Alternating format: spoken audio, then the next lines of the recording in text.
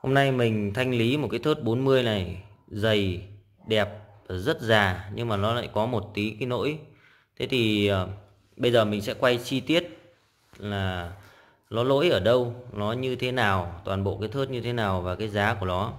Bình thường thì mình đang bán với cái giá là 550.000 và mình thanh lý cái thớt này với giá 500.000 đồng à, và mình sẽ đo cụ thể. Đấy mọi người cũng đã nhìn thấy đây.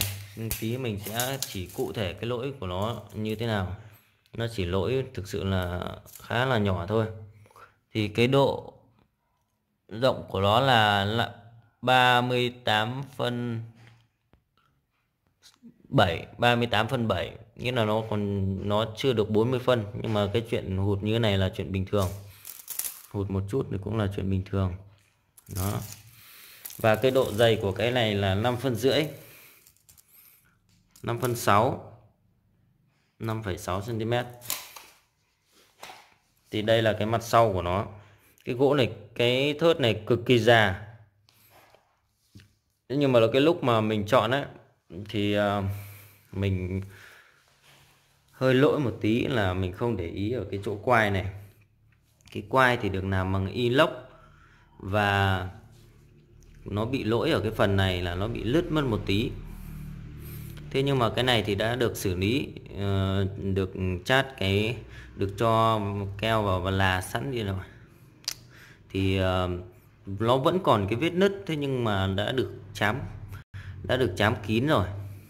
Thì đây. Cái này thì ờ, có thể là do nó lứt xuống đây. Mình sẽ quay kỹ cho các bạn xem đây. Đấy, mình quay kỹ cái lỗi như thế này. Anh chị cô chú nào mà không quá quan trọng về hình thức của cái này. Thực ra cái này dùng mình cứ bảo quản theo cách của mình thì là sẽ không việc gì hết. Và đây nó cũng là đây là cũng là cái phần lỗi nhỏ của nó. Thì đó mình đã quay cụ thể cái lỗi của nó như thế. Nghĩa là nó bị nứt ở đây và đã được chám keo bình thường.